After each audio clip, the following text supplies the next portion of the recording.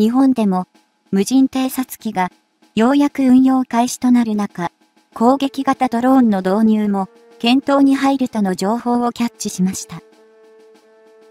今回は、この日本に導入を検討する攻撃型ドローンを詳しく見ていきます。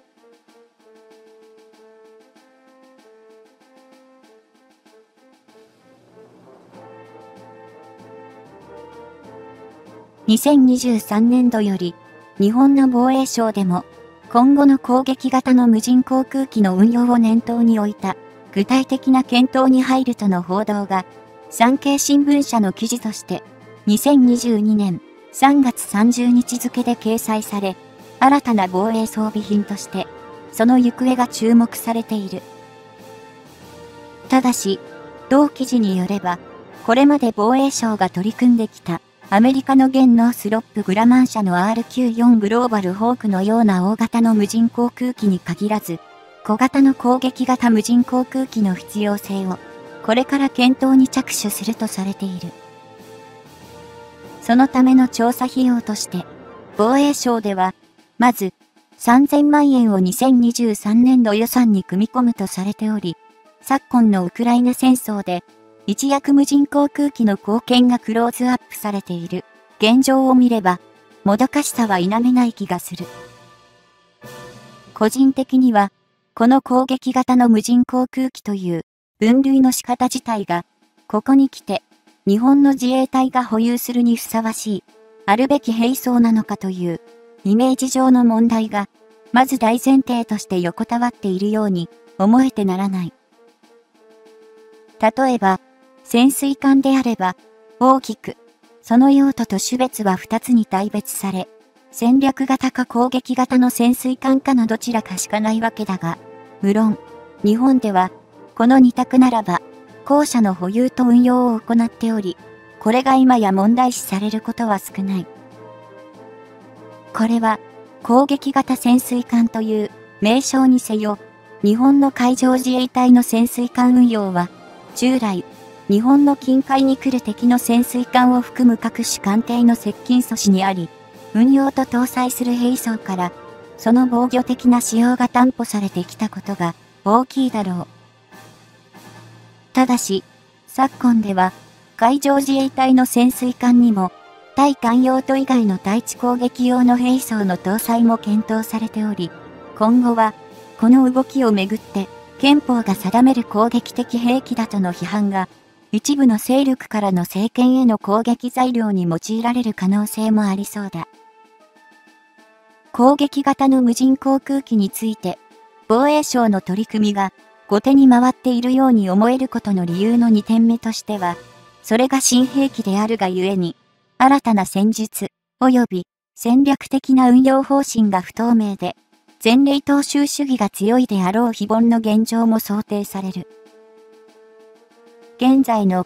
防衛省、ひいては自衛隊の防衛装備は大半がアメリカの兵器システムに準拠したものだが、当然、明らかに攻撃的兵器だとみなされるものの導入は回避されており、攻撃型の無人航空機もこの範疇でカウントされてきたと思われる。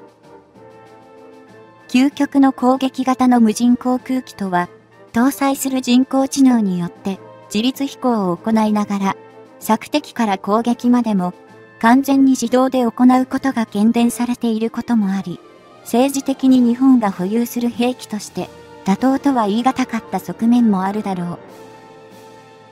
そんな日本だが、前述したように、無人航空機としては、アメリカの現ノースロップグラマン社の RQ4 グローバルホークを航空自衛隊が調達中であり、これは攻撃用の兵装は搭載できない機体であり、各種の監視、偵察任務に用いられる。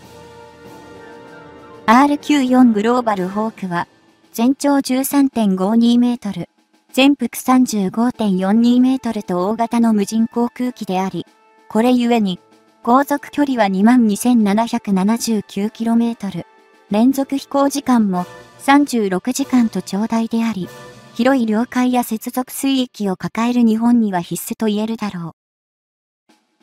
折しも、2022年3月12日に、日本向けの RQ4 グローバルホークの1号機が、青森県の航空自衛隊の三沢基地に到着しており、これは、2017年度予算で調達されたもので、以後も、2018年度、2019年度で、各1機ずつの調達が確定しており、納入待ちとなっている。航空自衛隊が調達中のこの RQ4 グローバルホークは、ブロック30と称されるバージョンであり、導入にかかる付帯費用として、総額約462億円、3機の機体の合計額で、約386億円、1機あたり、平均128億円相当が予算化されている。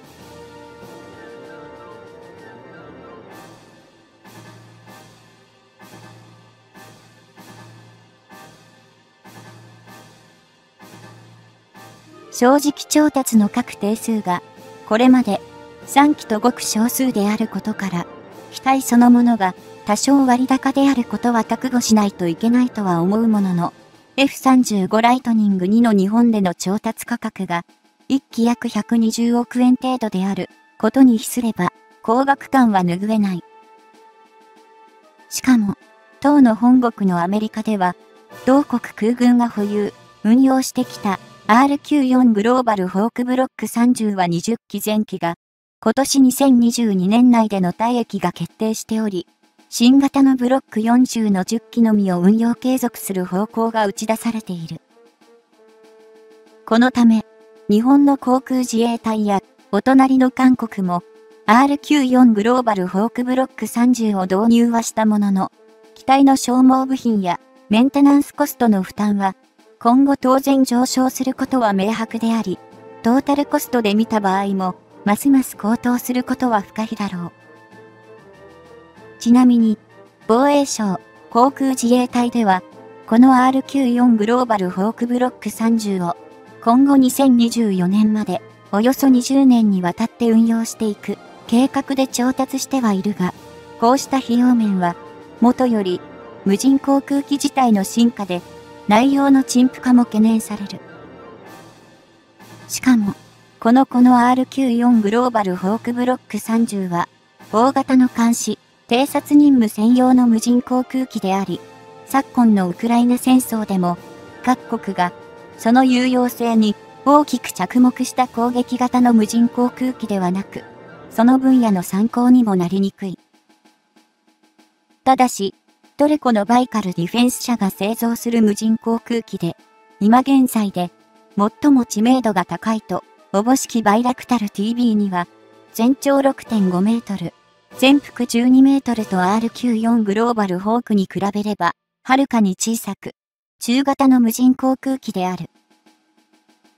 そのため、バイラクタル TB には、最大でも、位相への積載重量は 150kg に過ぎず、地上の戦闘車両に対しては、有効な各種のミサイル、爆弾類を搭載できるものの、海洋国家として、海上の防衛が、まず大前提となる日本では、別の機体が必要だろう。それは、海上から日本へ接近してくる敵艦艇に、ある程度の打撃を与える兵装が可能な攻撃型の無人航空機であり、それを実現するためには、もっと大型で重量があり、破壊力を持つことができる大型の機体が必須となると思われる。